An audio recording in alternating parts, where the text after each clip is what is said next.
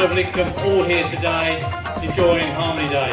This is an important day. Yeah, we're having a bit of fun, uh, but also I think it's a chance to reflect, reflect on the fact that we're all human beings, wherever we come from.